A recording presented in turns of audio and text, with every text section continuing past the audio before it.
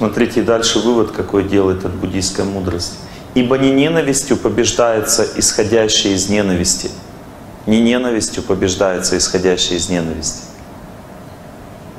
Оно угошается любовью. Любовью. Таков вечный закон. Мне сегодня была в ведическом храме лекция, одна женщина задала вопрос, как помочь родственникам встать на путь на самосовершенствование.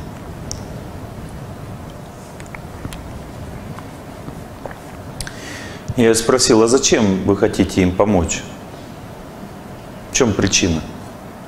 И она не могла ответить на этот вопрос. Но я сам ответил на этот вопрос. Я объяснил, что чаще всего мы хотим помочь своим близким людям, допустим, бросить мясо там, или бросить выпивать, только по той причине, что нам комфортнее так жить, что мы хотим быть счастливыми, и поэтому хочется видеть рядом с собой человека, который несет хорошую судьбу. Мы не понимаем, что эти родственники олицетворения наших грехов, что они просто показывают, кем ты был раньше нам, показывают, кем ты был раньше. И одна женщина спросила меня, Олег Геннадьевич, вы можете как-то наглядно показать мне мою судьбу? Я говорю, конечно, очень просто. Поставьте всех близких людей вокруг себя, вот это ваша судьба, наглядно. Вот это часть одна ваша судьбы, это вторая. Какую-то часть вы любите судьбы, она вам приносит счастье. Какую часть судьбы вы не любите, она вам приносит страдания. Но все это ваша судьба. Все родственники вокруг, близкие люди, друзья, директор завода, которым вы работаете, который вас гнобит. Ну, то есть все это судьба. Вот это все. Те люди, которые близко в сердце находятся. Хорошо или плохо, это все судьба. И когда человек с утра в молитве, в хороших позитивных настроях, побеждает плохое, плохие мысли об этих людях, побеждает плохие мысли, то это значит, что плохая судьба на него в этот момент уже не действует. До свидания.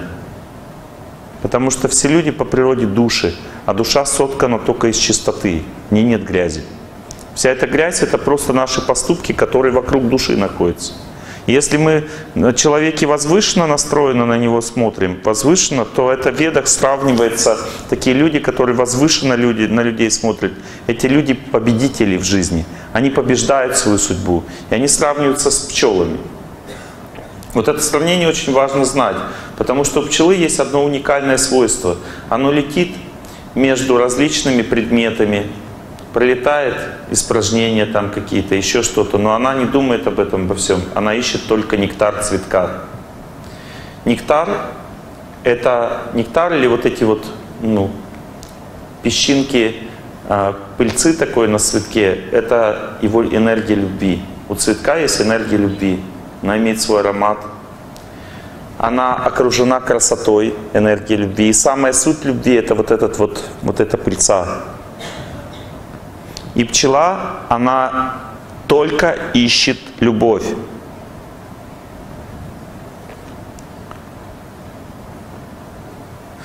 Есть, так, есть такая песня на, на хинди. Один возвышенный человек поет, он поет. Камли кои, камли кои. То есть он поет только через любовь, только через любовь мы можем а, достичь в этой жизни счастья. Только через любовь. И пчела ищет только нектар. И как интересно она живет. Она набирает на лапки пыльцу и несет не себе похавать, а она несет в улей. В улей. Она отставляет там и опять летит. И опять она носит целый день. И когда она голодная становится и, и уставшая, куда она летит? Тоже в улей. Она прилетает туда, и там уже много меда, он стекает там, и она кушает этот мед тоже. Она уже, когда совсем наработалась, она прилетает, и она, так как мед, он, это энергия любви, это благостный продукт, сотканный из энергии любви, она кушает этот мед, и она падает вот так вот, вся облипается в меде, крылышки, ножки, все, как бы она, крылышки у нее так жи-жи-жи, такие пожуживают, и она вся обмазана медом. Она кушает мед, вся вокруг ее мед окружает. И все пчелы там роятся вокруг, как бы они все вот этот мед кушают. Вот. И когда она наелась уже, она как бы приходит в себя и думает, что это я тут развалилась. Надо же нектар собирать. И опять летит трудиться. И пчеловоды, они поближе ставят улей к цветкам, потому что они знают, что пчела может не долететь и погибнуть по дороге. Она, если она летит, не думает о себе вообще. Она может не долететь до цветов и по дороге просто упасть, погибнуть. Она только хочет нектара. И это сравнивается с мухой, которая тоже любит сладкий вкус и ищет его по факту. Она тоже летит на сладкий вкус. Но по дороге она видит, что там что-то лежит такое, бардак. Она видит, что надо разобраться в этом вопросе, потому что бардак. И она летит разобраться в вопросе, потом у нее там опарыши заводятся, и она забывает, что она к нектару летела. Она потом в этом бардаке живет уже в своем сознании. Таким образом, пчелы, они всегда ищут нектар и хотят нектара. Они тоже сталкиваются с бардаком, но облетают его. А мухи, они погружаются в этот бардак и думают, Господи, какой скотина, а? Ну как можно с ним жить вообще? Вот, понимаете, то есть, и так как у нас у всех есть и муха, и пчела в сердце, сидит обе, и муха, и пчела, человек должен а, пчелу придушить время молитвы, придушить ее чуть-чуть. Пчелу, муху, муху, муху, да, извините. Муху придушить, чуть-чуть так ее, чтобы она, она все равно оживет, она живучая. Не бойтесь, вы ее не убьете. Надо ее просто придушить, чтобы она там лежала себе, отдыхала. А пчелу надо дать ей летать в жизни. Вот для этого молитва предназначена. Молитва предназначена для того, чтобы человек почувствовал чистоту людскую. Что такое прощение? Увидеть хорошее в человеке. Прощение не означает, что ты съел его грехи, как бы проглотил, переварил, все нормально, мне по барабану. Нет, Прощение означает, что ты увидел хорошее в человеке и почувствовал его с другой стороны. И это означает прощение. Это всегда означает прощение. Это, это, это очень сила большая, позитивная должна быть в сердце, чтобы прощение возникло. Что с тобой стряслось вдруг опять? Быть может, я в чем виноват? Нельзя же молчать, упрямо молчать, и час и другой подряд. Да?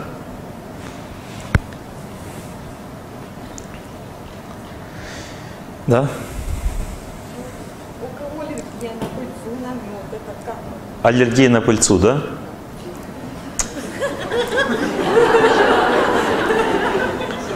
Ну, я говорил об аллегории сейчас. Я не говорил о меде как таковой. Я говорил о людях. Я о людях говорил. Если у вас аллергия на мед, то ну, у вас на любовь есть аллергия? Нет у вас аллергии на мед. Если у людей аллергия на мед,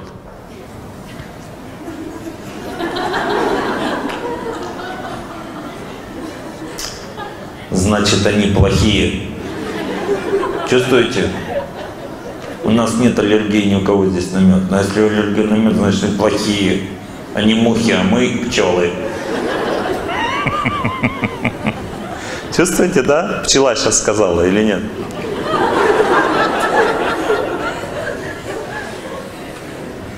А вы как спросили, как пчела или как э, другое насекомое? У вас вопрос был как задан?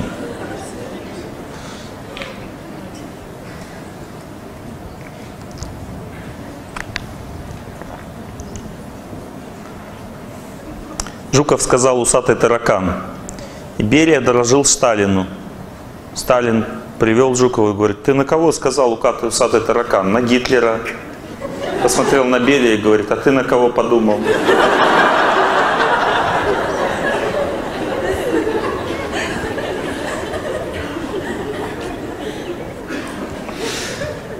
Ну, то есть, э, изучаем науку о меде, да?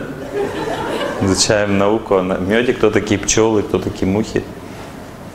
Но я не подумал о вас плохо, да? Или подумал? Не знаю. Видите, как сложно. Надо учиться быть пчелой, пчелой при всех ситуациях. Видите, я подумал о ней плохо и сам завонял в результате. Но так или иначе, идея в чем заключается? В том, что мы иногда воняем. Вот. Мы должны очищаться с помощью внутренних мыслей, молитвы мы должны очищаться от этой идеи. И так протекает наша жизнь. Мы должны очищаться.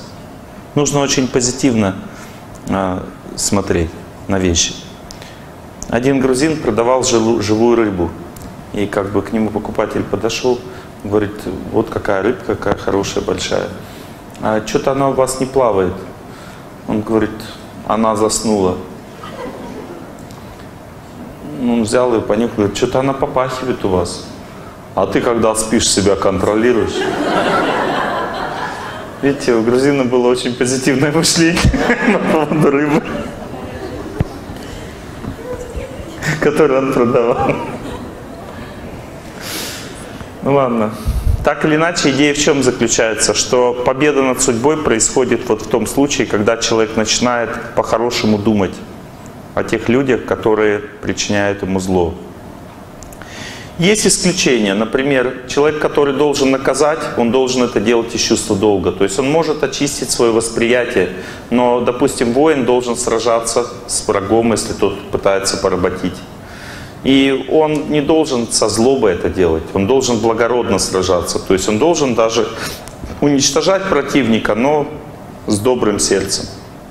Как Александр Невский сказал, у нас нет как бы никому злых мыслей, зла нет у нас. Но тот, кто с мечом на нас пойдет, от меча и погибнет.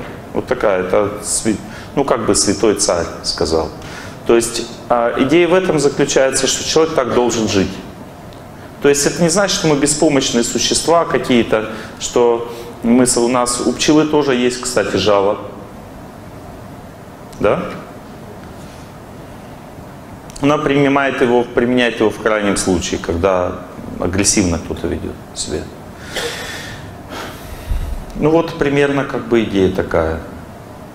Воля Бога в том, что мы, чтобы мы жили счастьем и жизнью друг друга. Воля Бога в том, что мы жили счастьем и жизнью друг друга, а не взаимным несчастьем и смертью. Допустим, человек оставляет тело близкий. В чем заключается проблема? Проблема заключается в том, что я думаю, что он умер.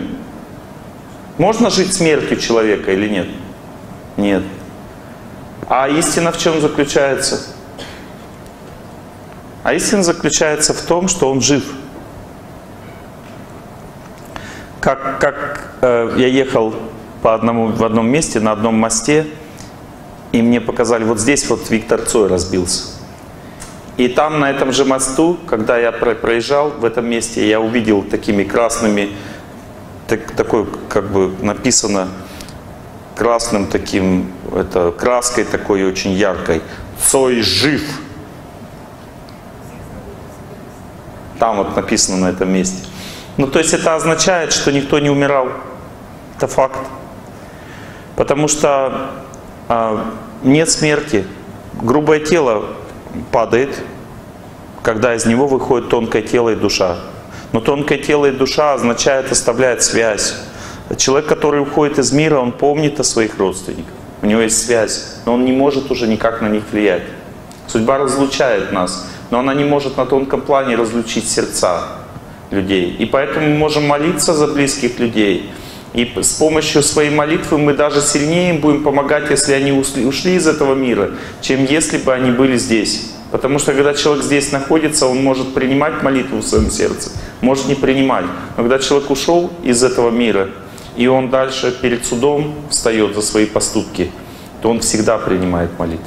Всегда принимает молитву. Сейчас мы проведем статистику. Я много-много уже об этом на лекциях говорил. Кто из вас молился за своих родственников, которые ушли из жизни, и в сердце почувствовал сильную радость, облегчение? Поднимите руку. Вот эти люди уже помогли своим родственникам. Если вы это почувствовали, значит, они уже пошли из тех мест, где наказаны, пошли вверх, там, где нет наказания. То есть вы фактически отработали молитвой судьбу их, их всей жизни. Такой результат молитвы со стороны. Так человеку помогают. Потому что когда человек по судьбе положено утонуть в болоте, достаточно просто механически протянуть ему руку. И эта рука, она вытаскивает человека из болота и спасает ему жизнь. Точно так же молитва из сердца, она очищает от всех грехов человека, какие только в его сердце бывают, существуют. Я был свидетелем уникального события. Один молодой человек, он всю жизнь был монахом, и он оставлял тело в святом месте в Индии от рака.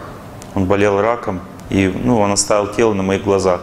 Я на пять минут пришел его проведать, что с ним происходит, и в этот момент он оставил тело. Сам не ожидая того, он просто сказал, что ему душно.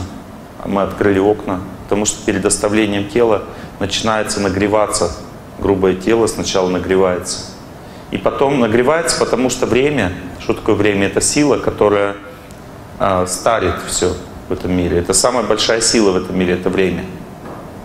Время. Это не то, что на часах бежит, это сила такая на тонком плане.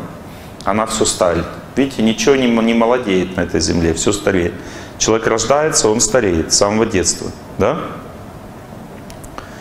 И время выталкивать, когда душу из тела начинает, то, то душа вместе с тонким телом держится за грубое тело. Поэтому э, сопротивление времени вызывает сильное нагревание.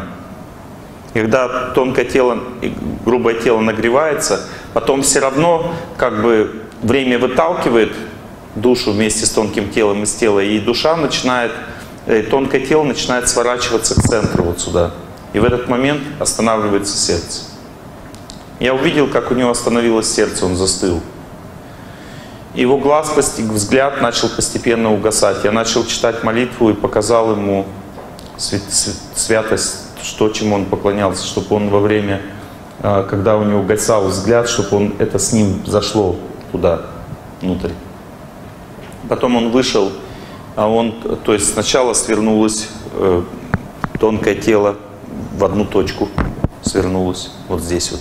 Потом а, некоторое время это все находилось внутри. Был такой феномен, что есть тело мертвое и есть внутри душа с тонким телом. Так удивительно было это видеть. Глаза были уже безжизненные. Он с открытыми глазами оставил тело, но а, душа была внутри с тонким телом. И видел тонкое тело. Потом я увидел, как тонкое тело вместе с душой вышло из тела, начало двигаться и через определенный психический центр вышло наружу, и снаружи он сразу же себя осознал. И как только он себя осознал, он две попытки совершил вернуться в тело назад. И потом он, как бы обескураженный совершенно, застыл вот так вот снаружи. И ну, он был в шоке, хотя он всю жизнь молился и изучал, что есть выход из тела, что жизнь не вечна в этом мире. И я начал молиться его духовному учителю в этот момент, чтобы тот ему помог. Я увидел, какая-то сила окружила его, и он успокоился. И в этот момент а, мой, ну, тот человек, который рядом находился, он собрал тех людей, которые его знали, и мы начали молитву. Эта молитва продолжалась 24 часа. Все это время я наблюдал за тонким телом. Оно очищалось с каждой секундой все сильнее и сильнее. И через 24 часа он уже сиял, то есть от него начало исходить сияние. Я увидел, как он пошел вверх на высшие планеты, а может быть и в духовный мир. Я не могу уже сказать точно куда. Но так или иначе, молитва очень сильно меняет. Даже просто 24 часа вместе помолиться за человека, это очень сильно меняет его судьбу. И по факту тяжесть сердца после ухода родственников возникает только по той причине, что мы перед ними не выполняем свой долг. И вот эти слезы, отчаяние возникают только по одной причине, что мы никогда при жизни не выполняли свой долг. Потому что когда человек очищает свое сердце по отношению к родственнику, когда тот уходит, у него в сердце возникает благодарность и чувство разлуки. Это тоже слезы, но они имеют другую природу. Почему у нас камень на сердце после ухода родственников возникает? Потому что мы не занимались внутренней жизнью. Мы всю жизнь просто занимались собой. Строили домики, работали, кушать готовили и так далее. Но человек живет для того, чтобы хотя бы час в день, полчаса в день, пять минут в день, вот что у него остается для настоящей жизни, потому что жизнь, как в буддийской мудрость сказали, протекает в сердце, а не снаружи. Он должен подумать о Боге, помолиться за счастье родственников, подумать о хорошем, что я знаю близких людях. В этом заключается жизнь. А все остальное это просто пустая трата времени. И человек, когда он тело оставляет, в этот момент он проносится вот это все, вся его жизнь, и все вот, что связано с жизнью, он радуется этому, а все, что связано с тем, что он просто там деньги зарабатывает, он этому печалится. Потому что жизнь — это не растить детей, не зарабатывать деньги, не повышать положение в обществе. Это не жизнь, это выживание. Жизнь — это то, что происходит в сердце время утренней молитвы. Почему утренний? Я сейчас объясню. Это описано тоже в Ведах. Смотрите, утро связано с рождением в следующей жизни, день связан с жизнью, и вечер связан со старостью. Что важнее, рождение, жизнь или старость? Рождение, потому что это, если ты с хвостиком родился, то ты уже другим не станешь, понимаете? Рождение важнее, поэтому молитва и совершается с утра, чтобы рождение было благоприятно. Некоторые думают, что человек не может родиться с хвостиком. Надо изучать этот вопрос. Смотрите, некоторые люди очень сильно походят на животных уже при жизни. Сначала они были такими хорошими, а потом раз, и что-то с ними происходит. У меня в подъезде жил один мальчик очень красивый. Он жил, я на девятом этаже жил в Тольятти, а он жил на седьмом или на шестом, где-то там, пониже. Он был очень красивый, этот мальчик. Я всегда думал, какой красивый, он был младше меня на год. И когда лет восемь назад я приехал в Тольятти, я увидел, меня позвал какой-то страшный человек, пропитый, позвал, Олег, ты помнишь меня? Я смотрю, не могу вспомнить. Я говорю, что-то я не помню. Он говорит, помнишь, я жил на таком-то этаже, а ты на таком-то. Мы игрались. Я увидел, что он похож на животного. Тогда он был просто красивый. Сейчас стал похож на животного. Иногда мы говорим, ты уже на свинью стал похож. Что ты с собой делаешь?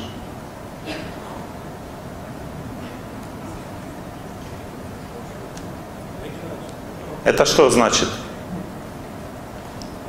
Это значит, что меняется тонкое тело.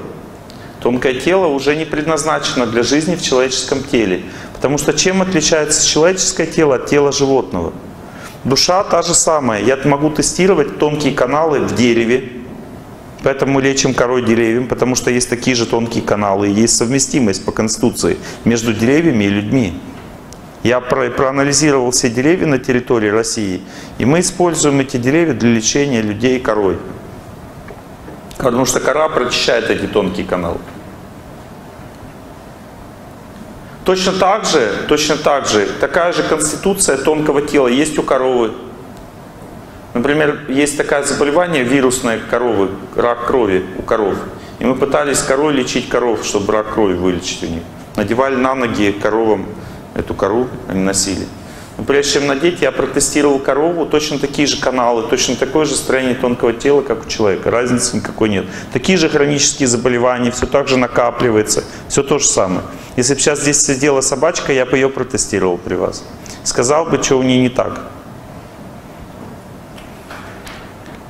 Некоторые утверждают, что в телах животных нет души. Но веды объясняют, что душа везде есть, где есть признаки жизни – Признаками жизни есть стремление к счастью. Допустим, растение растет к солнцу. Солнце – это энергия счастья. Солнце дарит нам счастье. Солнце, ты посмотри, какое солнце в вышине. Солнце, оно дает свое тепло тебе и мне. Солнце, дарите солнце, как весенние цветы, и станет на земле еще светлее. Видите солнце, видите солнце, как весенние цветы. То есть речь идет об энергии любви. Мы говорили, что в цветках энергия любви, в солнце энергия любви.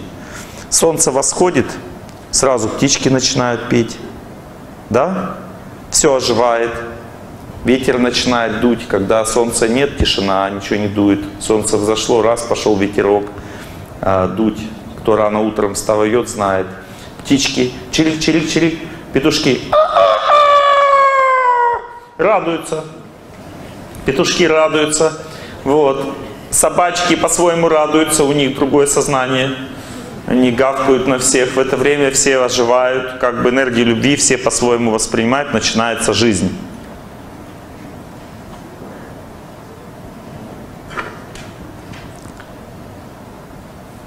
Надо дарить солнце, как весенние цветы.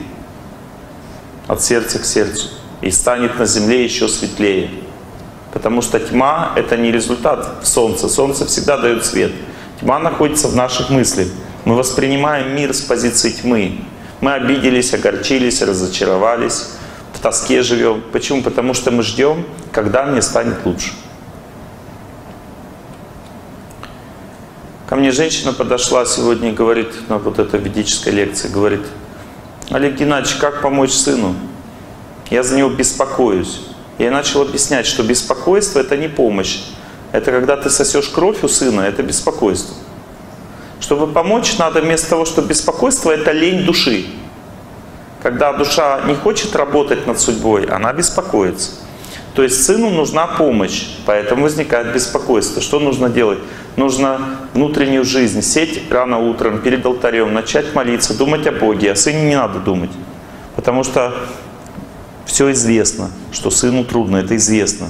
Бог, Он все знает, Он в сердце прямо у нас находится.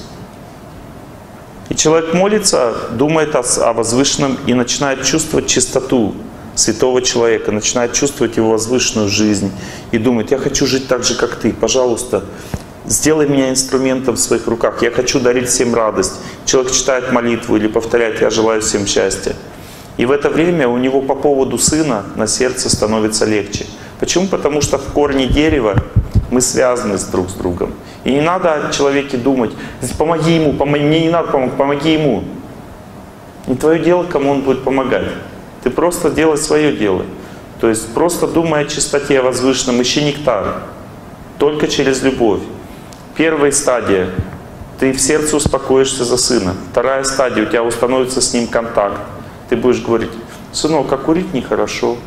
И он не будет плохо реагировать. Он будет улыбаться, говорить, мама, я это уже слышал.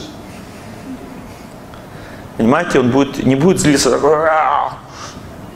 а будет нормально реагировать. Это значит, что ваше знание в сознание ему уже входит. Вы дальше молитесь, и потом ваши слова начнут действовать, он начнет задумываться. А потом он бросит.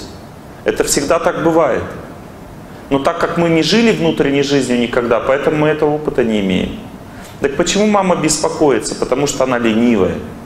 Она не хочет жить вот этим победой над судьбой. Она хочет получать плоды. И она, эта женщина подошла ко мне и спросила, Олег Геннадьевич, как сделать так, чтобы я не беспокоилась за сына? То есть означает, Олег Геннадьевич, может вы побеспокоитесь за него вместо меня? Я не хочу вот как бы это все есть, может быть вы мое покушаете. Но я не против, я нормально к этому отношусь. И поэтому я ей стал помогать, что я не против, как бы, есть у человека трудности, надо объяснить, что делать. Человеку в жизни не хватает только знаний, и все. Все остальное у него есть. Мы не знаем, что происходит, как нам жить. Поэтому цель человеческой жизни — это понять свою природу, что мы души, у нас духовная природа. Духовная означает позитивная, то есть чистая и светлая природа. И мы должны... Что значит духовная жизнь? Это значит учиться видеть светлое в людях, а не, а не грязное. Это духовная жизнь. Духовная жизнь не означает небеса где-то летать, думать только о Боге. Бог проявляется через людей, вот через всех вокруг. Я когда вчера повторял, я желаю всем счастья, я кланялся вам всем. Вы, вы думали о святом человеке, а я кланялся вам всем и искал ваш, в вашей чистоте Господа. Искал вас. Это потому что у вас тоже это есть. Я почувствовал это в конце. Почувствовал эту чистоту, которая у вас есть в жизни. И я почувствовал большое удовлетворение от этого в своем сердце.